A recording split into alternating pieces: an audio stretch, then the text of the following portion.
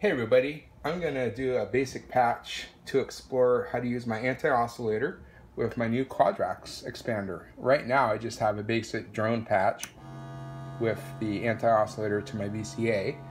So on these you have these different modes. I'm just to put it, I'm to go through each mode demo real quick. Uh, put these all in a default mode as an envelope. Put these all at 12 o'clock or so. All right, put these all at 12 do a real quick demo and show you how cool this is. Um, and so I'm going to take a patch cable, put it, uh, patch it to my, from my, I'm going to patch it from the uh, trigger input. So the first trigger input on my Quadrax, you can trigger it with a sequencer or gates or whatnot. And I'm going to take the um, trigger uh, to my Varigate 4. I did it earlier with my LFOs and that was fine. So put this in track mode and just put this all here. Put that here and then I'm going to take a, another patch cable and I'm going to patch the output from uh, Quadrax uh, output 1 into the 1V octave so I can effect modulate the pitch of my oscillator. Let's do that. And let's turn this back on. Hear how that sounds. Nothing exciting yet. Um, I'm going to set up my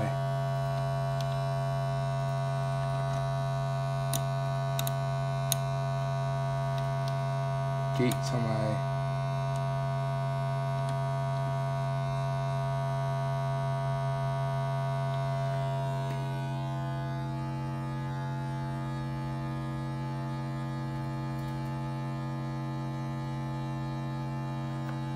So that's not too exciting.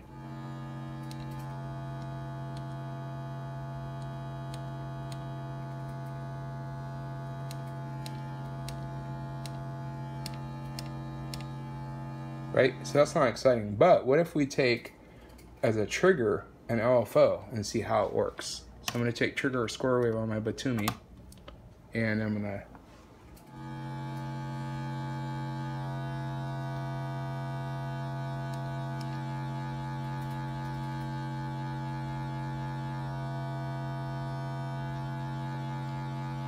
So it doesn't do much. It does change the volume. It does change the volume. What I did notice though is when I put it on the trigger, on trigger 2, I don't know if this is how Quadrax is supposed to work, and I put it on output 2, there's quite a difference. So it seems like the triggers work differently. Um, I'm not sure how that is, trigger one, two, three, and 4. But trigger one seems to modulate volume um, of the um, oscillator. I could be wrong, but um, trigger two and output two, output two is going to the one volt per octave on my anti-oscillator, and the square wave from Batumi is going to the trigger, right? So if you listen, see how it's modulating it?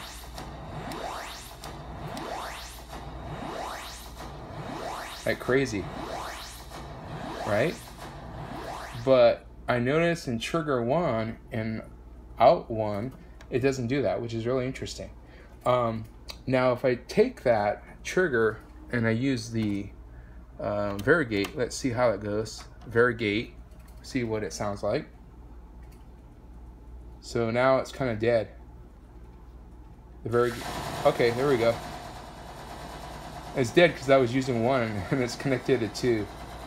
It's been a long day. Okay, now it's... So I think maybe it's just my lack of knowledge on this module. I'm new to it.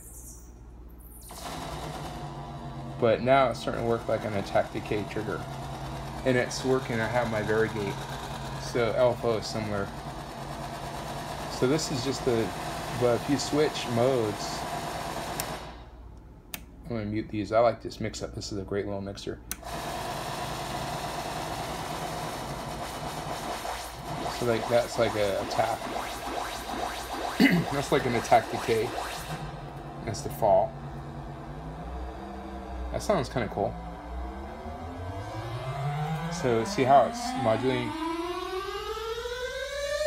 modulating the pitch. The pitch because it's connected to one volt per octave. This affects the wave. That's kind of cool. And then this is a wave shaper. So you shape the wave. A wave shaper shaping a wave shaper. Because the anti-oscillator is also a wave shaping oscillator. So this middle dial changes the envelope shape. So yeah. There's also a long mode, right? So you just press, hold this down, gives you some. That sounds cool. So now we change this mode. This is the third mode. And then these have like the modes too on the uh, fall side.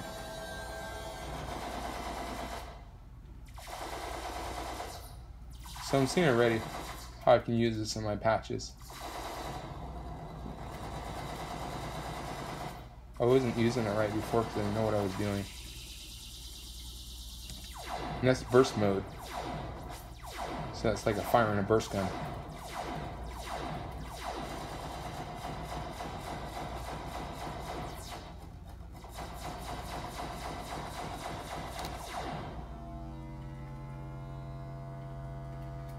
kind of nullifies it a bit.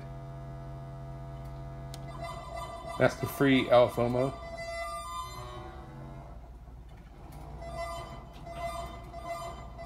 That's kind of cool.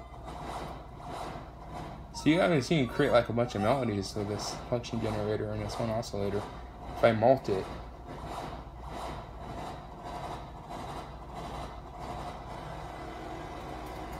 Ace if I change that back to how it was, if you long press it, it flashes, gives you some additional features. We're back to where we started. So yeah, this is pretty awesome. I'm, I read through the manual and the videos and I just figured out main thing is you got to patch a trigger, a clock, or an LFO or sequencer gate to the trig. Um, so you got four trigs, but this seems to only be sound. I got to ask support about that. Three, I'm not sure the difference is. Um, four, I got to read up on it.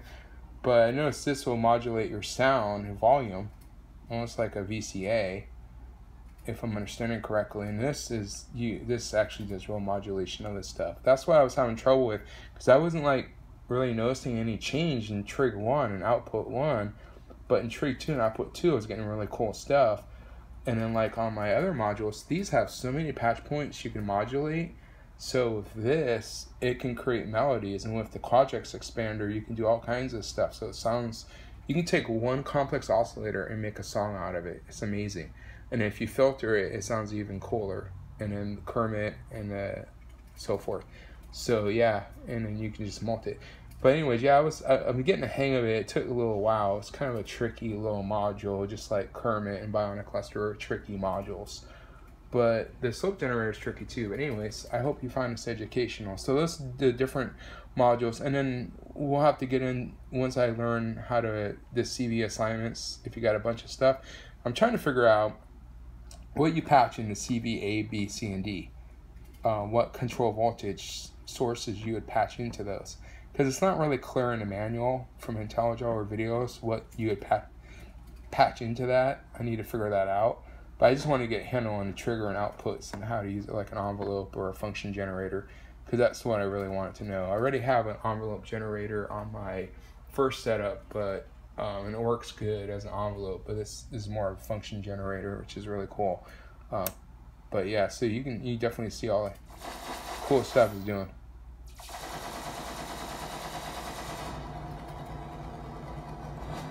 I mean, you just change that. So you can do one or both. So now it's like a drone. So if you set this to noon, the attack is shortened.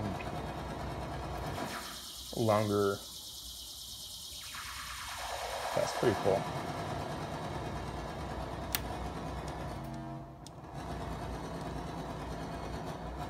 That's more like this. That's pretty trippy. Shorter rise.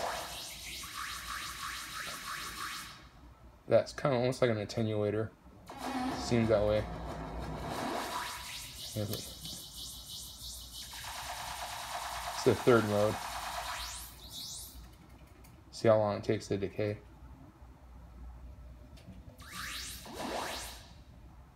So if you're trying to do a slowly evolving patch.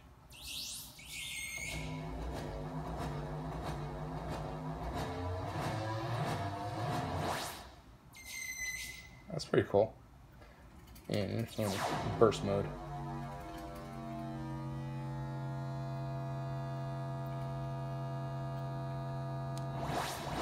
Back to where we were. Now if you just do this, so you can mix it up. That sounds pretty cool.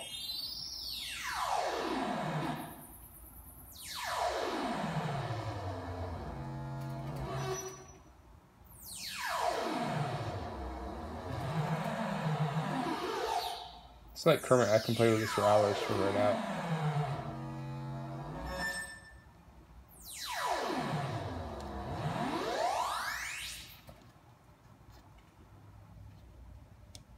Long press it to get the so you change that, shape the wave. That's kind of cool.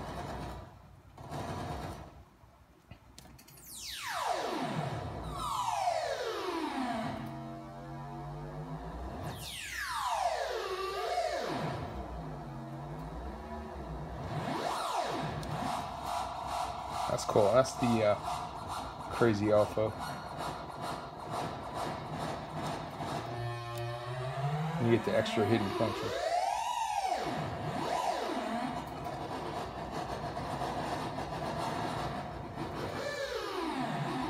I tell you, that's a crazy oscillator.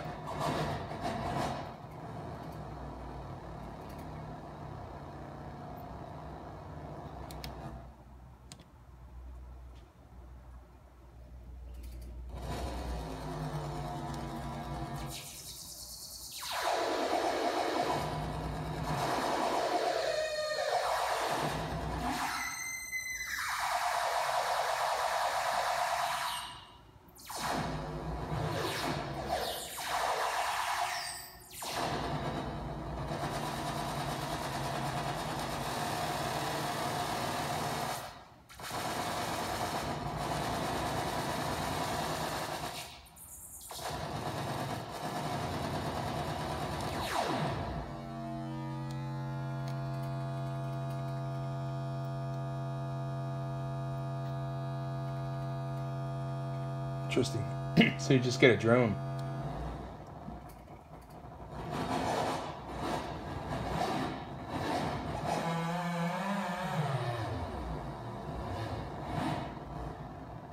Anyways, I just want to share what I learned from working with this, just breaking it down to one patch with one oscillator and one trigger so we can explore different modes of Quadrax and then once I get more experience and I understand how these CV inputs work and better understand these, and I can do some more complex patching and and uh, create some fun melodies with my setup. Anyways, hope you enjoyed this.